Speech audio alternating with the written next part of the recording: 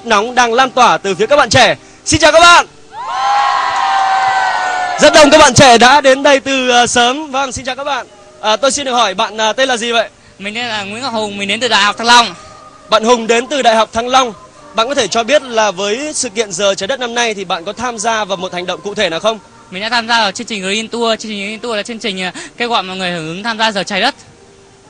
Và vì sao bạn lại tham gia vào uh, hoạt động này? Xuất phát từ tình yêu thiên nhiên và môi trường, mình đã đăng ký tham gia chương trình giờ trái đất để cùng mọi người ờ, chung tay góp sức bảo vệ môi trường cũng như bảo vệ cho tương lai chúng ta. Vâng, uh, Green Tour nghĩa là đạp xe để cổ động hành động vì môi trường.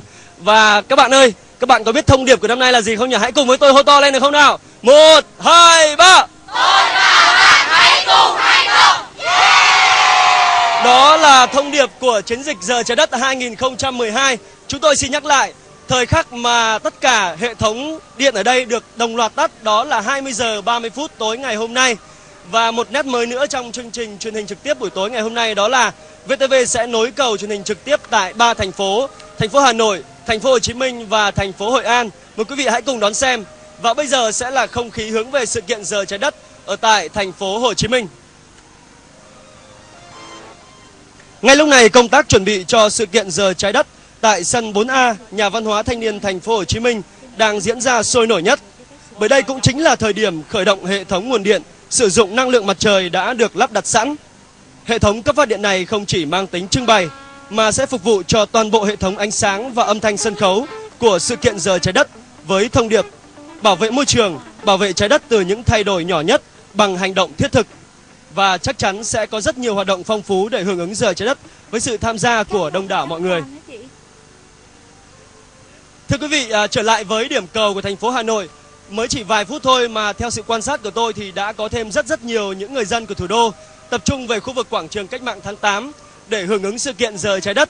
Và ngay bây giờ thì chúng tôi muốn mời quý vị sẽ cùng đến với thành phố Hội An để xem không khí hưởng ứng cho sự kiện ở tại thành phố này như thế nào. Không khí chuẩn bị cho sự kiện giờ trái đất đã tràn ngập khắp các khu phố của thành phố Hội An. Tiết chế ánh sáng sinh hoạt đến mức thấp nhất, cắt giảm thiết bị sử dụng điện, tuyệt đối không chiếu sáng công cộng. Thay vào đó sẽ là những dãy đèn lồng trong không gian đầy hoài cổ.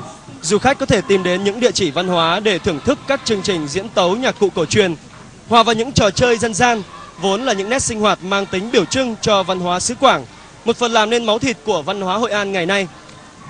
Ngay từ lúc này, bên khu vực sông Hoài đã bắt đầu có những hoạt động chuẩn bị cho lễ hội Hoa Đăng sẽ bắt đầu vào lúc 20 giờ tối ngày hôm nay. Đây là hoạt động được chờ đón nhất trong chuỗi các hoạt động hưởng ứng sự kiện giờ trái đất ở Hội An.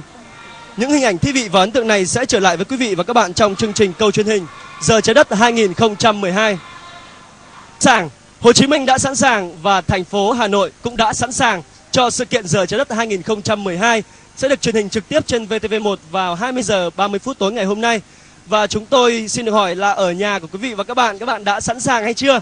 Các bạn hãy hưởng ứng bằng một hành động rất đơn giản và cụ thể, đó là tắt đèn và các thiết bị điện không cần thiết. Và chúng ta hãy nhớ rằng chương trình sẽ được truyền hình trực tiếp trên VTV1 vào 20 giờ tối ngày hôm nay, 31 tháng 3 năm 2012.